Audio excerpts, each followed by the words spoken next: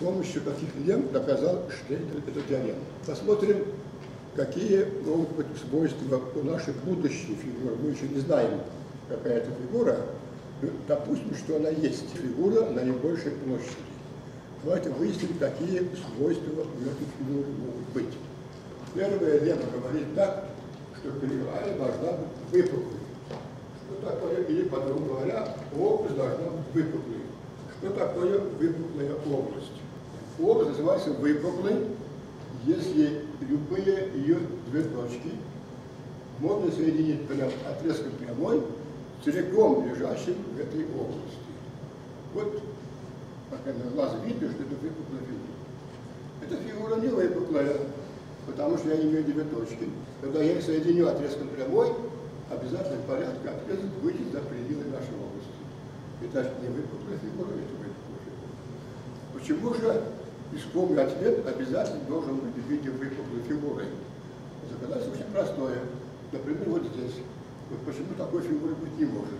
Эта фигура не выпуклая, мы можем найти хорду, которая э, такая, что вся фигура лежит по одну сторону от этой хорды.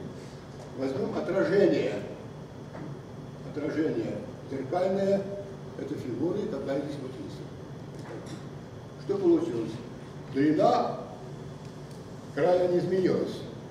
Это сейчас край стоит на месте, а это просто зеркальный образ, же фигура. Значит, сам длина, э, задача кривая имеет данную длину, осталось, выполняется это условие, а площадь явно стала больше. Поэтому фигура наибольшей площади не может быть не выполнена. Она обязана быть выполнена. В виде леммы 2 выражается, диаметр замкнутой фигуры говорит. Это есть любая хорда, концевой точкой которой делит поток кривую на две, на две других равной длины. Вот если такая, ну, она сюда существует, очевидно, это диаметр. И Лема говорит так, что любой диаметр вот этой самой кривой иглы, которую мы с вами ищем, который предполагает, что она существует, делить пополам и ограничен ее площадь. Давайте это доказать. Найдем две точки, такие, чтобы концы этих, там, этой хорды делили пополам длину. Тем самым длина этой части и длина этой части, они равны. Ну и существование такой хорды, наверное, довольно очевидная вещь, да? Если возьмем любую хорду, которая явно пополам не делит, то начинаем ее двигать, и в какой-то момент у нас получится там, э, положение, когда она длину пополам так. Вот у нас с вами есть э, хорда, и хорда, и, и, которая есть диаметр. Я утверждаю, или Лем утверждает, что эта хорда делит площадь пополам. Допустим, что это не так. Пусть не так. У нас тем самым есть одна часть и другая часть. Другая часть. Так что мы сделаем? Тогда мы сделаем следующее. Проведем прямую. Прямую проведем. И пусть у нас вами, что там, предположим, из один, допустим, больше из два. Больше из два. Что мы можем сделать? Мы можем сделать следующее. Возьмем зеркальный образ S1 относительно этой кривой. Вот эта фигура должна по-другому по расположиться здесь. Расположится, в таком виде получится. Значит, дальше уже у нас получается новый вот кусок. Я напишу S1 сложим с волной, с волной, чему равна эта вот площадь э, этой части. Ну, по отражению зеркальному мы имеем эти фигуры конгруентные, нужно назвать зеркальное отражение, поэтому площади будут равны. Какая же длина? Какая вот длина вот этой новой фигуры?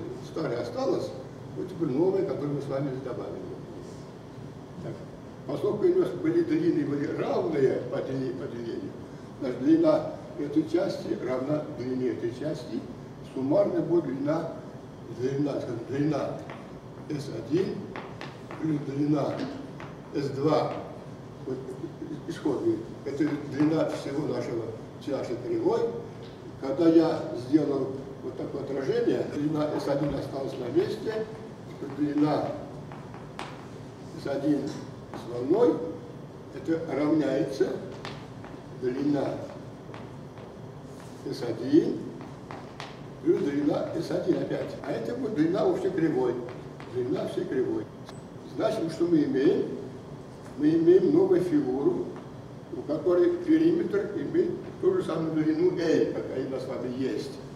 А площадь уже будет больше, потому что S1 с волной плюс S1 равняется э, сейчас равняется 2S1, 2S1. Так, а S1 записываем, это будет больше будет S1 плюс S2. Больше получается. Все. Мы с вами пришли по противоречию. Мы получили фигуру, э, вот новую фигуру, у которой площадь больше, чем площадь в этой фигуры. Фигура, а эта фигура какая по, по нашему предположению? Это фигура, имеющая наибольшую площадь. Имеющая. Значит, мы получаем, мы обнаружили новую фигуру с таким же периметром, у которой фигура площадь больше.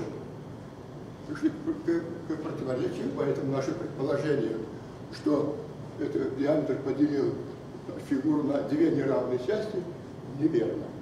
Значит, на две неравные части.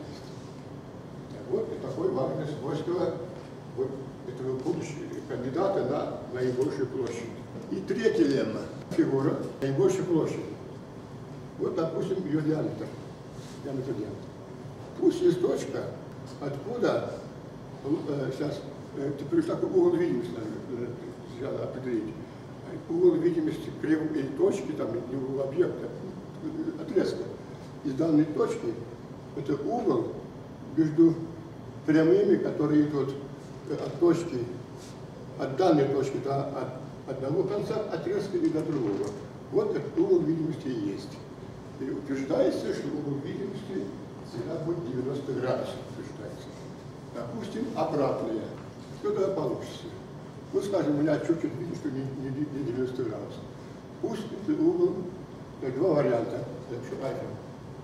Угол альфа или больше 90 градусов, или угол альфа меньше 90 градусов. Посмотрим, как это предположение будет в противоречии, в противоречии с нашим условием, что фигура имеет наибольшую площадь. Давайте посмотрим, что у нас получится. У нас получится следующее.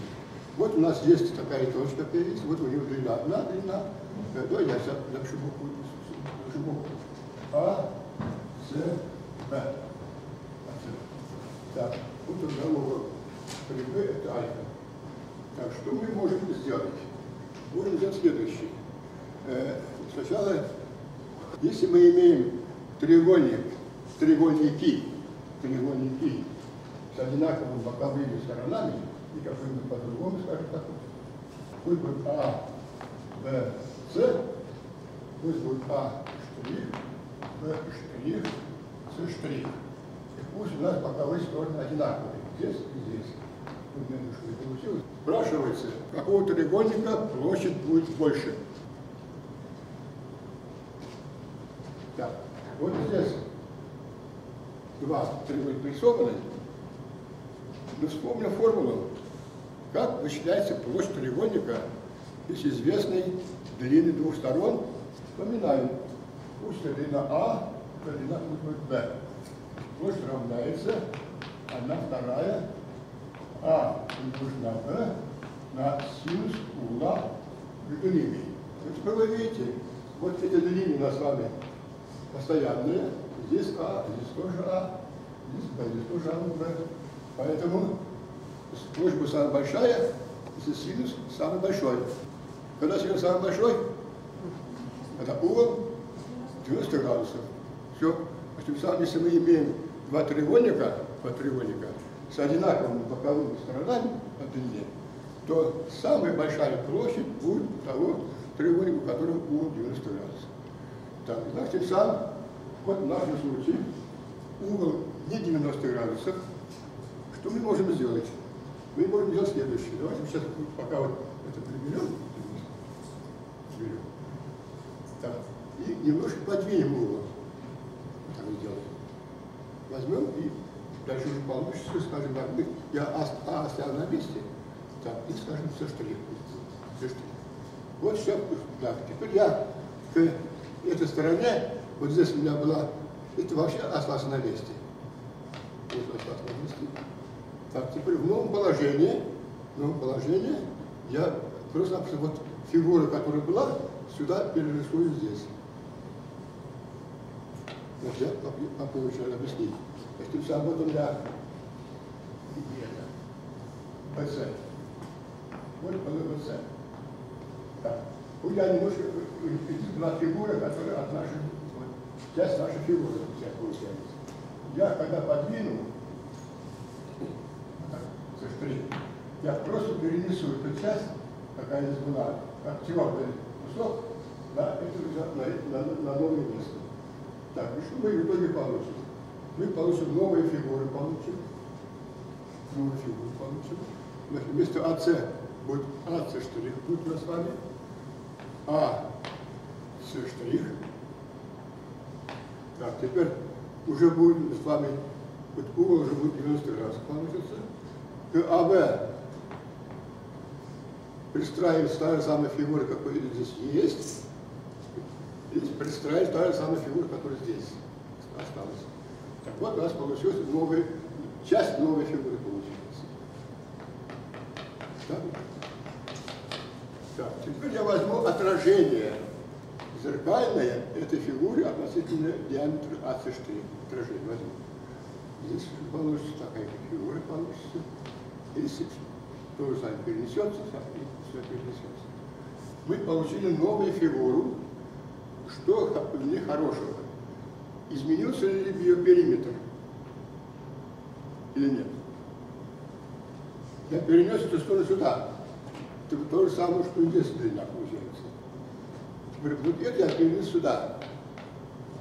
То же самое получилось. Сам длина этой части у нас с вами не изменилась.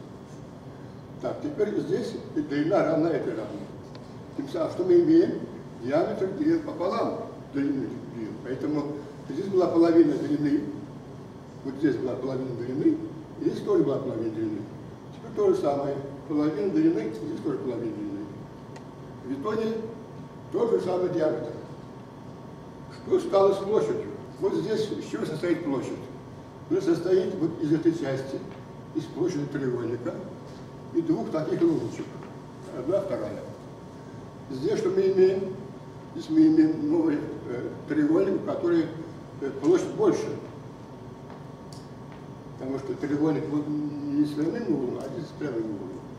А эти те же самые остались и самостоятельно. Тем самым площадь этой части больше, чем была площадь здесь.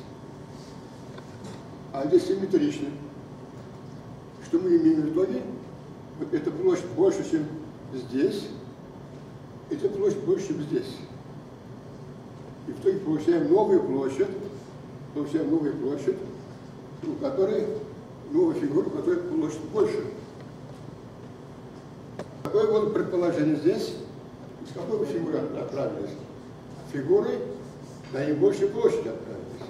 То есть мы здесь предполагаем, что наибольшая площадь, а получили новую фигуру еще большей площади. Еще больше площади. Все противоречие, все противоречия с тем, что здесь угол не прямой. Эти углы должны быть прямыми. Ну а дальше маленькая задача для вас уже таким образом. Имеем фигуру, кривую, скажем, давайте так, вот такая масса задач. Так, вот у меня кривая.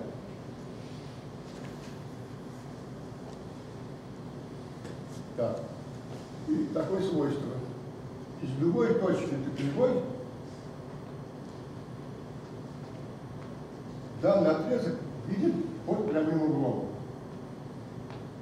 Данный отрезок и дано геометрическое место точек, из которых отрезок виден из всех, из пусть отрезок видит под углом 90 градусов. Задача, не знаю, какого она класса, но одним словом, я думаю, что классы в школе это решали. решали. Так, кто-то знает решение, не так не решение, а ответ. Какая кривая будет геометрическим местом точек, повторяю еще раз, из которых данный отрезок виден под одним и тем же углом 90 градусов. Это будет окружность ну, на самом точнее полуокружность. Полуокружность. Так, тем самым здесь полуокружность, здесь тоже полуокружность. Все? Вот все доказали. Если фигура наибольшей площади существует, она обязана быть круглой. Вот доказательство Штейнера. Он предположит, что существует, имеем три леммы, этой леммы и сказали, мы, мы в итоге получили, что фигура должна быть такой, что из любой точки ее границы кривая, отрезок, называемый диаметром, виден по, одним и тем же углом 90 градусов. Ничего другого, кроме окружности, не бывает. Вот доказательство Штейнера. Все ошибка в этом доказательстве.